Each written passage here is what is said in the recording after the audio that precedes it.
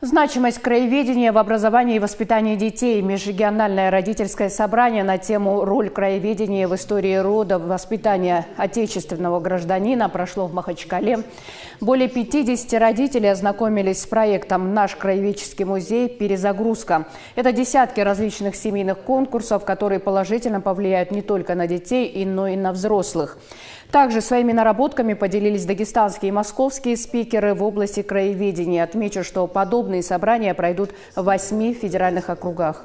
Задачей любого родителя является воспитание гражданина, профессионала и семьянина. И для этого, э, для решения этих задач у нас э, очень важно знать историю своей семьи, историю рода, историю края.